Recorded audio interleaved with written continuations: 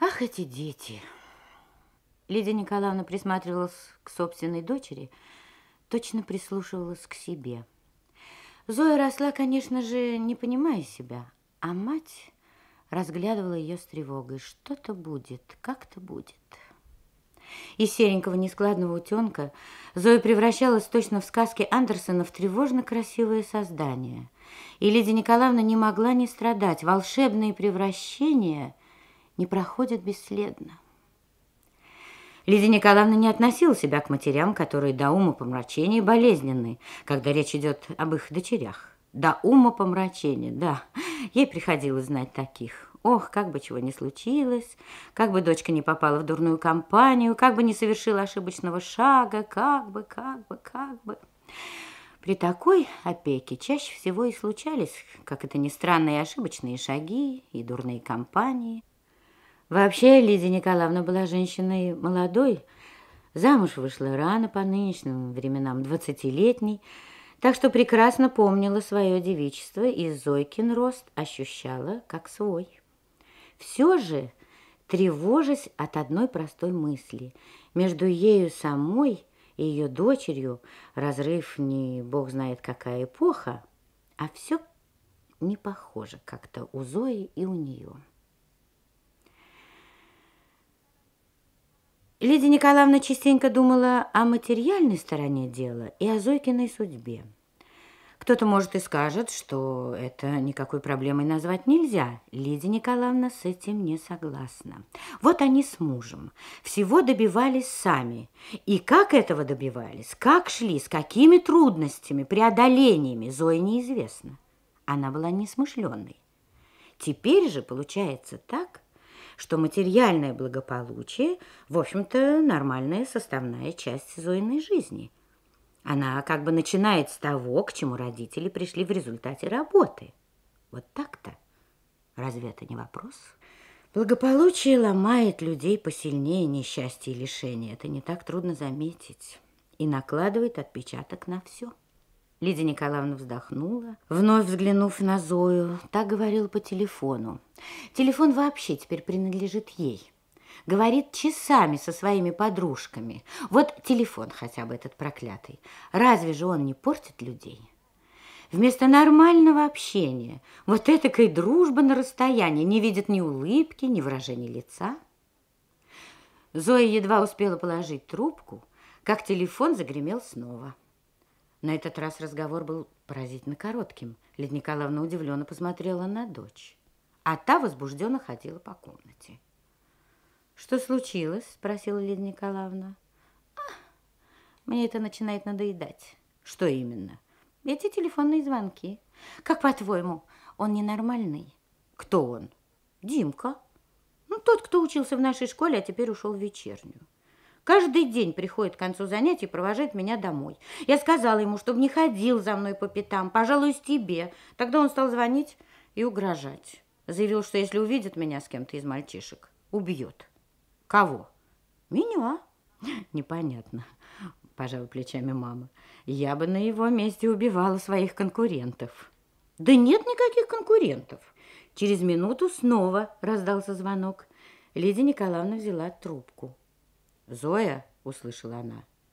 «Нет, это не Зоя». М -м, «Не дури, Зойка. Пойдем в кино. Я купил билеты». «Дима, тебе со мной в кино будет неинтересно». «Это почему же?» «Да потому что я не Зоя, а ее мама». «Ну, брось прикидываться, что я твоего голоса не знаю». «Конечно, ведь мы с тобой говорим по телефону впервые». В трубке послышалось частое дыхание, потом кашель и, наконец, виноватый голос. «Простите, пожалуйста, я вас за Зою принял». «Прощаю, нас часто путают. А чтобы лучше узнать друг друга, поднимитесь к нам. Тут и решим, кто с кем пойдет в кино». На другом конце провода произошло какое-то замыкание. Долгая пауза, и Лидия Николаевна спросила, «Вы слышите?» «Это «Правда?» – послышался растерянный голос. «Я к вам...» «Поторопитесь!» – молодой человек рассмеялась она и положила трубку. А взглянув на Зою, рассмеялась еще громче. возможного убийцу, собственной дочери, в дом, Зойка восклицала, явно кокетничая. Возможный убийца был светловолос, голубоглаз, розовощек и курнос. Лицо его выражало полный конфуз. Он стоял на площадке, совершенно убитый, а звонок заливался, не утихая. Видно, на радостях он так крепко нажал на пуговку, что та застряла в отверстии. Так что вместо приветствия Димка сказал в смятении, «У вас не найдется перочинного ножика?» Лидия Николаевна принесла ножик. В глубине комнаты, не умолкая, хохотала Зоя. И Димка выковыривал ножиком кнопку звонка, пока та не вылетела, расколовшись. Но Димка, похоже, приходил в себя. «Завтра сделаю». «Завтра так завтра», – покладисто согласилась Лидия Николаевна, улыбаясь собственной глупой мысли. «Интересно, какая из меня теща получится». Высокий, худощавый, с угловатыми плечами Димка был и взрослым, и ребенком сразу. Когда улыбается, на щеках появляются ямочки. Губы у Димки словно карандашом выведены, а цвет глаз изменчив, как море. То они темно-серые, то светло-голубые, наверное, от волнения. Лидия Николаевна взглянула на Зою, потом на Диму, снова на дочь, вздохнула. Ах, дети, десятый класс. Это и много, и мало. У каждого за спиной, пусть небольшая, но уже все-таки немножко прожитая жизнь. Дима вошел в комнату и остановился. «Проходи, садись», — сказала Лидия Николаевна. Димка робко прошел к дивану, присел. Лидия Николаевна опустилась в кресло. Зоя подвинула к себе круглый вращающийся стульчик. «Будем знакомиться?» Меня зовут Лидия Николаевна. Она протянула Диме коробку с конфетами и устыдилась этого жеста. Получилось пошловато, имя, подслащенное конфетами. Дима точно услышал ее, протянул руку к коробке, но, смутившись, передумал. «Я Дима», проговорил он, а Лидия Николаевна с каким-то почти суеверным страхом ощутила вдруг, что она смотрит на себя, на Зойку, глазами этого мальчишки, отчужденным, посторонним, э, хотя и растерянным взглядом. Каким-то десятым, но безошибочным чувством она сразу поняла, что судьба этого парня вовсе не похожа на судьбу ее Зойки. «Позволь полюбопытствовать, Дима», произнесла Лидия Николаевна и снова поморщилась неуклюжести собственной фразы, странному несоответствию того, что чувствовала, с тем, как говорила. «Позволь спросить», — поправилась она, мотнув головой. «Я слушаю», — серьезно откликнулся Дима. Первое его смущение прошло, и теперь в комнате сидел паренек, в глазах которого угадывалась какая-то серьезность, э, даже, может быть, боль. Почему ты ушел в вечернюю? Надо работать. Вот как? А учиться? Но я же учусь. Откровения не получалось. И Лидия Николаевна снова укорила себя. А какое право имею я на его откровенность, да еще в присутствии Зойки? У них ведь что-то есть, какие-то свои отношения, и я рвусь в закрытую дверь. «Ну, хорошо», — сказала она, меняя тему. «Во сколько у вас сеанс?» «Через двадцать минут», — сказал Димка. «Зоя, ты успеешь?» — спросила Лидия Николаевна. «А я и не собираюсь», — ответила Зойка. «Вот как». Дима медленно поднимался, покрываясь красными пятнами. «Дима!» — проговорила Лидия Николаевна неожиданно для себя. «А ты меня не мог бы пригласить?» Лидия Николаевна видела, как меняется в лице ее Зойка, как смотрит на мать, сначала ухмыляясь достаточно иронично, потом растерянно, потом обиженно. «А? Как ты думаешь, голубушка?» Лидия Николаевна подумала, что преподносит Зойке некий урок. Мальчишка топтался у дивана, э, поглядывая то на дочь, то на мать. Э, наконец сказал, «Конечно, приглашаю». Лидия Николаевна шла по улице рядом с ухажером собственной дочери и снова и снова думая о Зойке. Откуда в ней это, Вот самоуверенность, жестокость. В конце концов, парень может и не нравится. Это ее дело. Тут Зойке никто не судья и не приказчик. Но он дома, в присутствии третьего человека.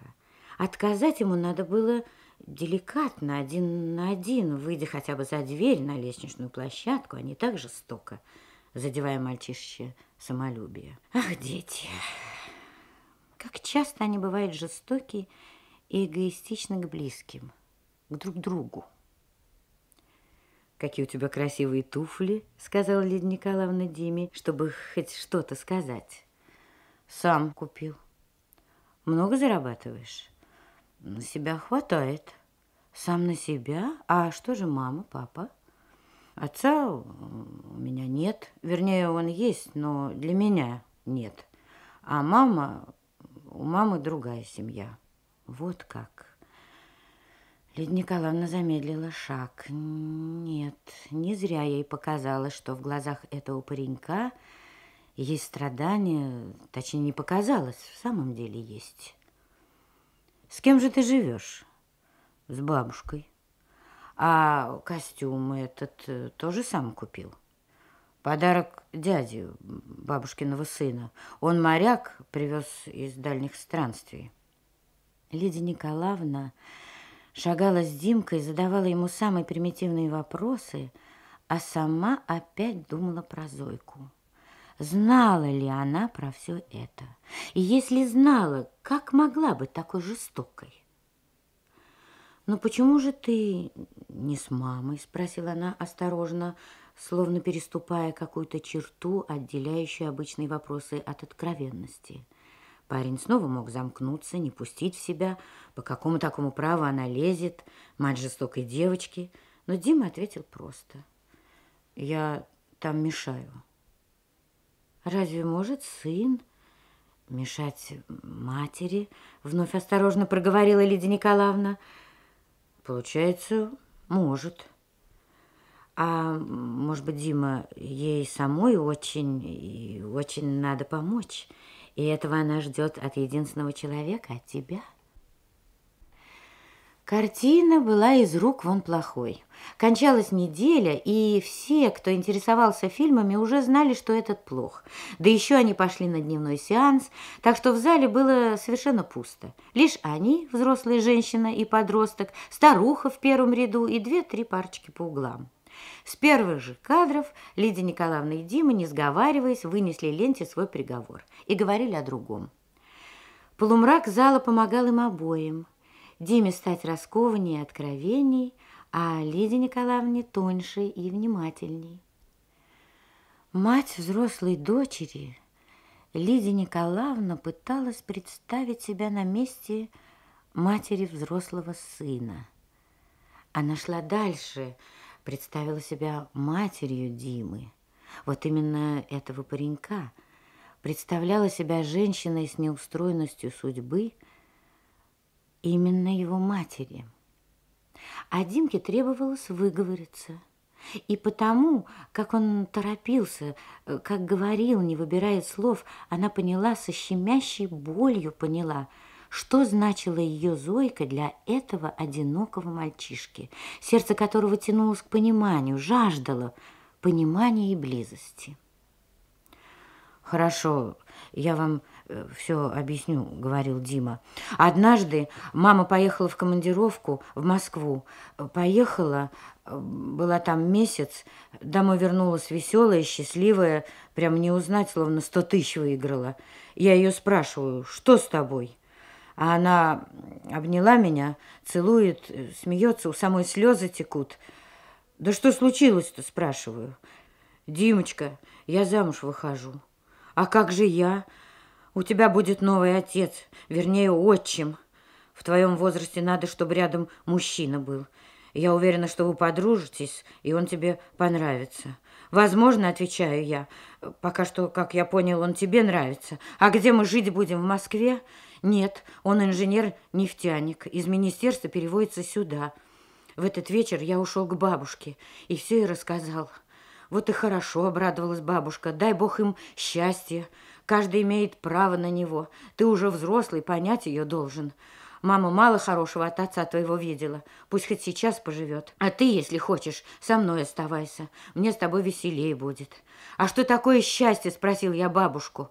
Это когда тебя любят, ты любишь. Дом, дети, работа по душе. Разве у нас этого не было? И квартира, и я, и работа, и отец был. Любили же они друг друга, раз поженились. Бабушка мне сказала, в длину ты вымахал, а как был ребенком, так и мы остался. Взрослые всегда это говорят, когда им сказать нечего. Дима примолк, точно на чем-то задумался. Ей не приходило на ум никаких мудростей, кроме заезженных и банальных фраз – Разве ты не желаешь счастья собственной маме? Это еще не все, точно не услышал ее Дима. Она ревнует меня к нему. К кому? К новому мужу.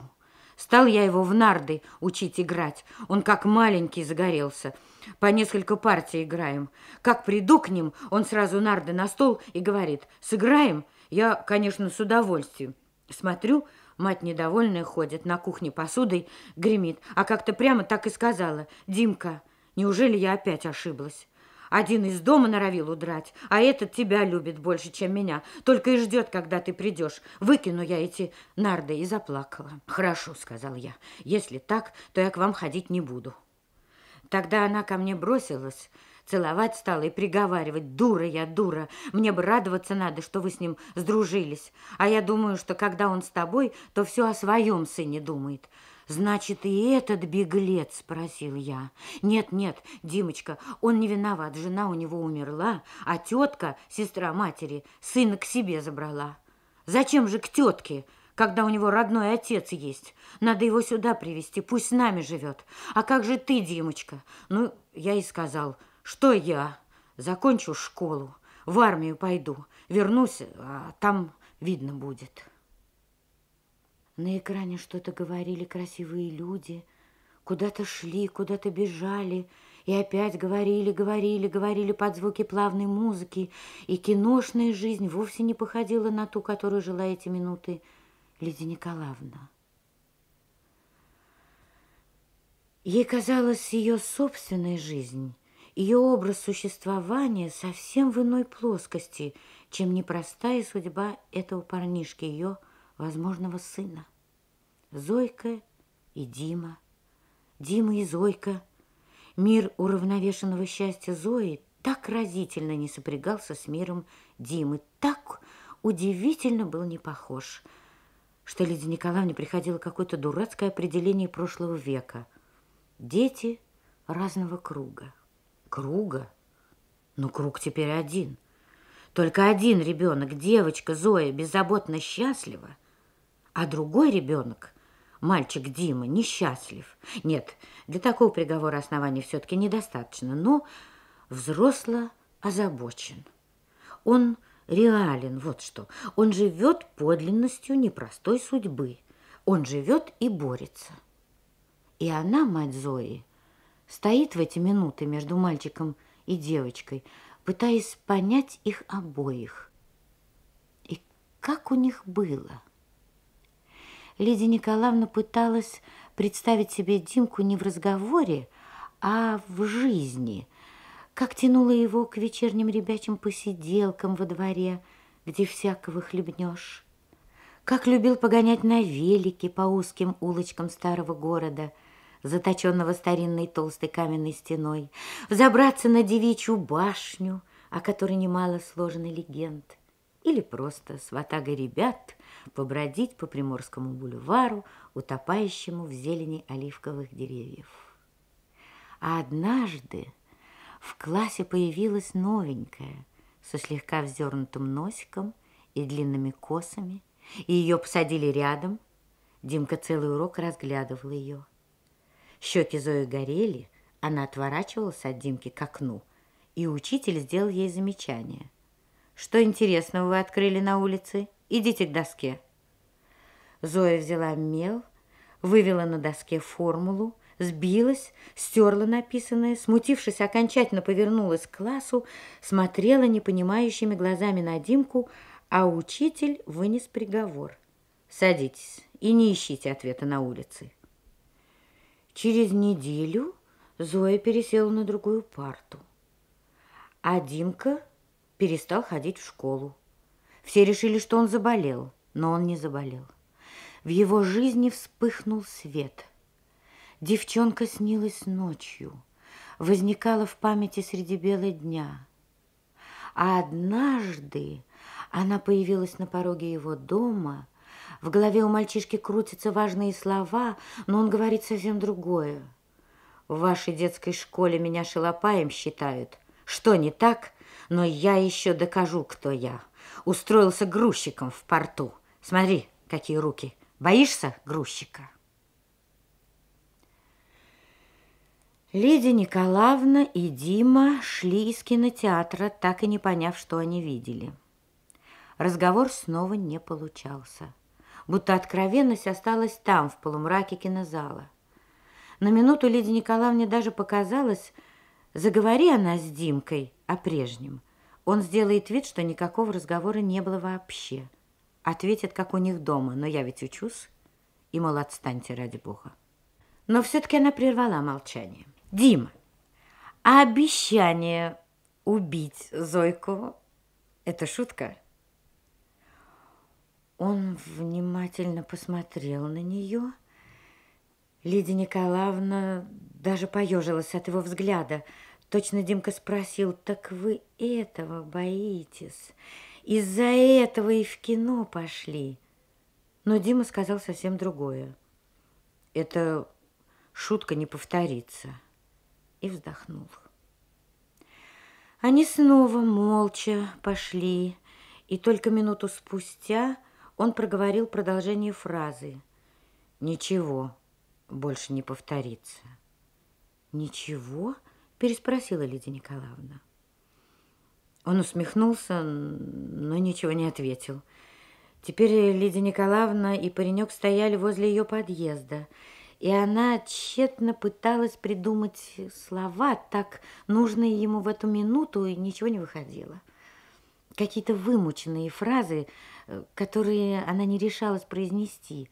Наконец сказала, «Заходи к нам, Дима». Он пронзительно посмотрел на нее и едва заметно покачал головой. «Этот мальчик, — подумала она, — старше не только Зойки, но и меня». «Приходи ко мне в гости», — нашлась Лидия Николаевна и снова поежилась под взглядом Димки. Точно он ответил, «Милостыни не принимаю». Но Димка улыбнулся и сказал, «К вам, может быть». Лидия Николаевна не вызвала лифт, а медленно, отдыхая на каждой площадке, пошла по лестнице. Ах, эти дети! Они растут и, вырастая, прибавляют забот каждому дому. Заботы всюду разные, и неизвестно, какая тяжелее. Как-то сложится Зойкина жизнь. Вовсе не исключено, что на самом взлете, когда будет она молодой женщиной, благополучие изменит ей в самостоятельной жизни. Родители не вечны. И вот тогда, тогда сумеет ли она бороться, как мать и отец? Выстоит ли она в непростых обстоятельствах? Ведь чтобы выстоять, мало силы, воли мало. Нужно еще что-то по-настоящему человеческое, высокое. Да, вот это слово надо уметь сострадать. Требуется сострадание. Но найдется ли оно у Зойки, ставшей взрослой? Зоя точно ждала мать, вопрошающий заинтригованный взгляд. Ну, как кино? С мальчиком. Откуда такая жестокость? Почему ты не пошла с ним? Вернее, почему отказала при мне? А почему я должна идти с ним? Я считала вас школьными товарищами. Мы с ним объяснились. Каким же образом? Ну, я сказала ему, что хотя мы и одногодки, но он ведет себя по-мальчишески. Я для него старушка, отслужит в армии и выберет себе в подружке молоденькую девочку. Она к тому времени как раз подрастет. А ты состаришься. Да, я поступлю в институт, и у меня появятся новые друзья. И этим ты дала ему понять, что вы разного поля ягоды? Ну, мы останемся знакомыми, как были, и этого достаточно. Ты знаешь, что у него дома? Хм. Ты думаешь, это смягчающее обстоятельство? Лидия Николаевна вышла на балкон. Все дрожало в ней. Хотелось хлебнуть свежего воздуха. Вот оно, неблагополучие, благополучие. Она стала рыться в себе, страдая, мучаясь, откапывая в дальней памяти день, час, неверный поступок и слово, которые, прорастая, взошли в Зойке ее собственной дочери этим холодом и этой жестокостью к славному мальчишке с трудной судьбой. И вовсе не обязательно, что она докопается до этих слов и поступков непременно в себе. Может, зерна эти брошены другим ветром, о котором не знает никто, даже Зойка? Ах, дети...